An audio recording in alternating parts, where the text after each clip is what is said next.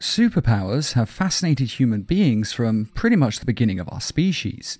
After all, Egyptian, Roman, and Greek gods are just beings with superpowers. Hercules just has super strength, Thor can control the weather, and Hermes has super speed.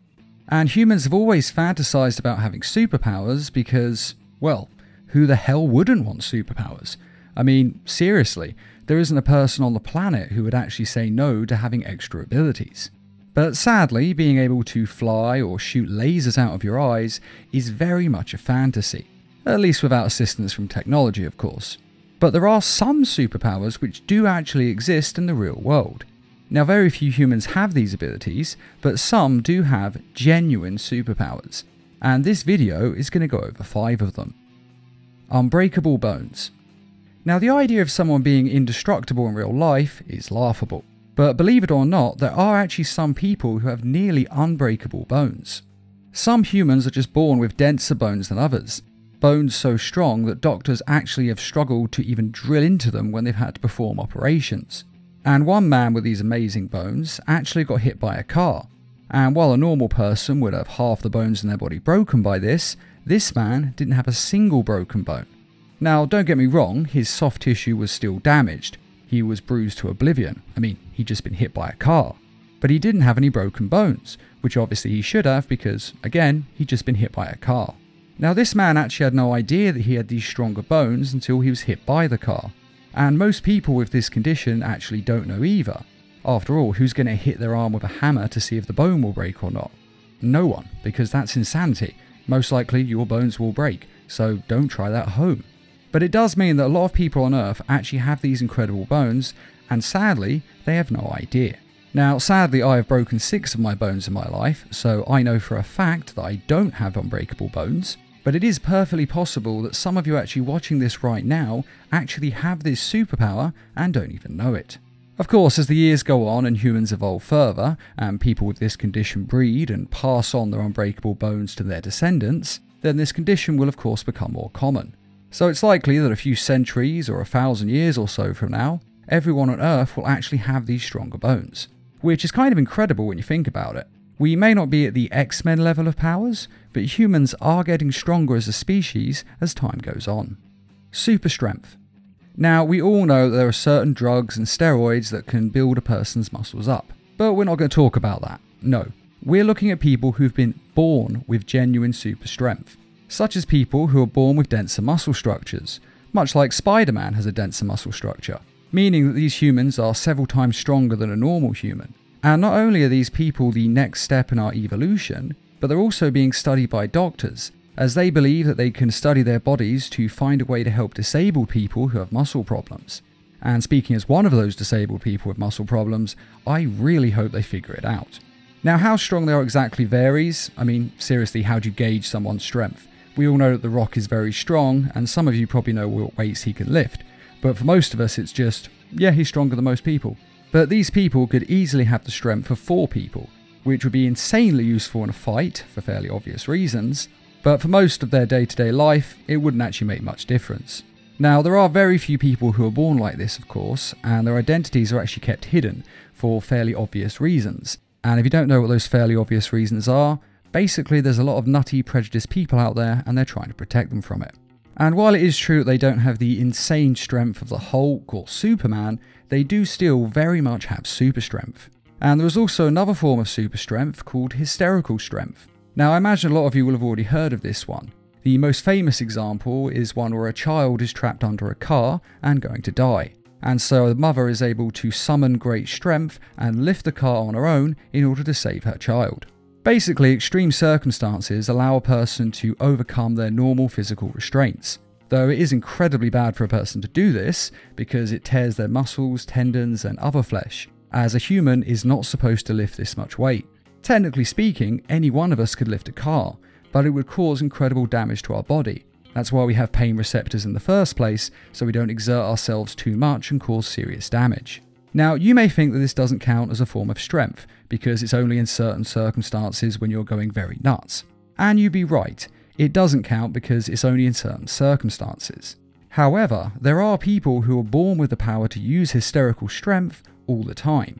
So they can overcome the normal pain receptors that stop them from doing stuff that's too much for their body, and thus they can do incredible things, such as lifting a car whenever they want. And of course, there's also people who are born without pain receptors. They're completely normal in every other sense, they just can't feel pain. And so again, they're able to perform incredible feats of strength. But I cannot emphasize how bad this is for your body. People who are born without pain receptors normally die very young because they keep pushing themselves too far and performing extreme levels of strength because they don't realize the damage they're doing. But the first kind, where you have denser muscles, that's a very useful ability. Echolocation. Now, Daredevil is blind, but he is still able to see the world around him because his enhanced senses let him see. Now, this may actually sound a little bit crazy, but this is actually very possible for a normal person to learn this skill. It's called echolocation, and it works very similar to radar. It involves a person learning to listen to sound and how it bounces off the world around them, and then forming a mental image based off hearing that sound. Now, for the most part, people don't really bother to learn this because, let's be honest, we don't need to. But blind people, however, have much more motivation than the rest of us for fairly obvious reasons. And the best person in the world at echolocation is Ben Underwood. Now, Ben was born with cancer of the eyes, which sadly meant that he had to have his eyes amputated when he was a toddler. But still, he was actually able to live a very normal life, as he taught himself to see the world around him by making clicking noises with his mouth and listening to the sound bouncing off the world around him and again being able to form mental image because of this sound. And he did genuinely lead a very normal life. He was able to ride a bike, play basketball, and he even managed to play some video games by listening to the sounds in the games to learn where characters were and what they were doing. And he was actually quite famous at one point and appeared on many talk shows, because this is obviously just an amazing achievement which very few people can achieve. I mean, this guy was an amazing human being. But sadly, he died rather young at the age of 17. He had been fighting cancer his entire life, and eventually the cancer won. But still, he was an amazing human being, and a real inspiration to the blind people of the world. X ray vision. Now, you're probably thinking there is no way a human has X ray vision. And you're kind of right. No human has literally got X ray vision like an X ray machine in a hospital. But with that being said, every human being on the planet does actually have the ability to see through solid objects. Now, I know that sounds ridiculous, but let me explain and it all makes sense. You see, human vision is based on movement. Now, what that basically means is that humans can only see things when they are moving. We cannot see anything that is completely still.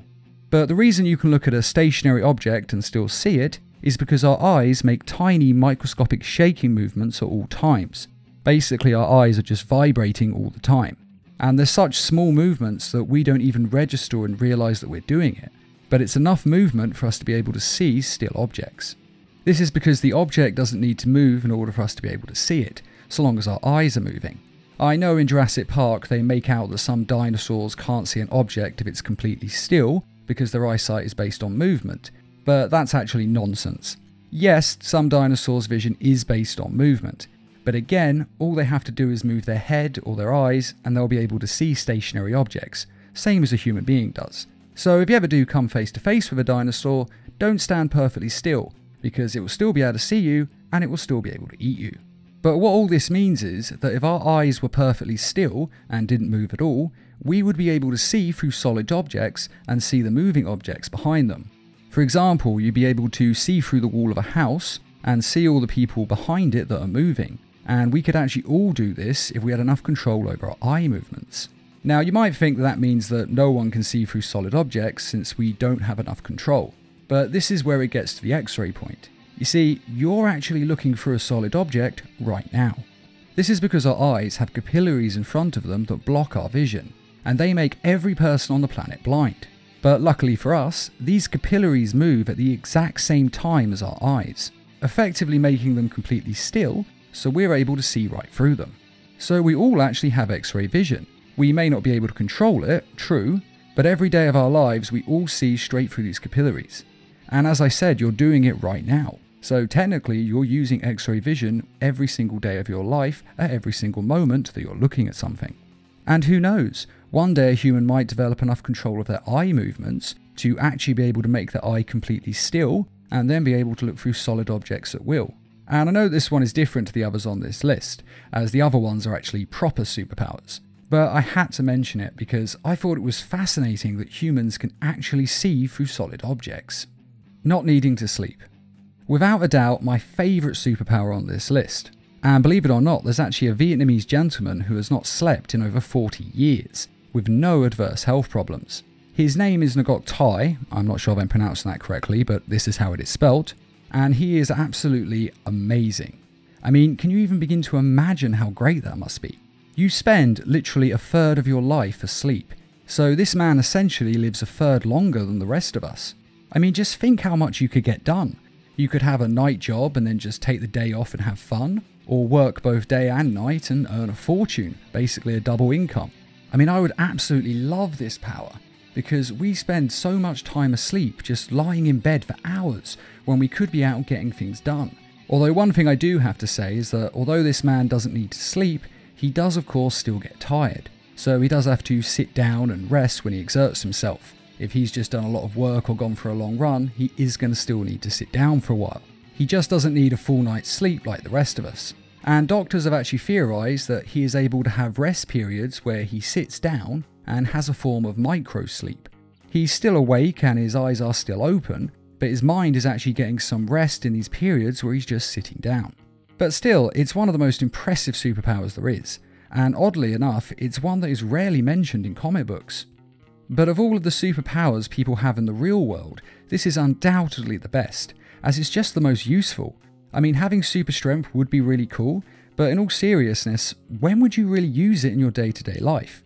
Sure, if you had a job that was very physical, you might need it, but you still wouldn't be lifting things that are mega heavy because you just don't need to lift really heavy things in your day to day life. So it is quite good and it would be useful here and there, but you've got to admit, not needing to sleep would be useful every single night for the rest of your life. It would just free up so much of your time, since you wouldn't have to lay down for 8 hours straight every single day doing nothing. You'd be able to spend those 8 hours having fun and getting stuff done.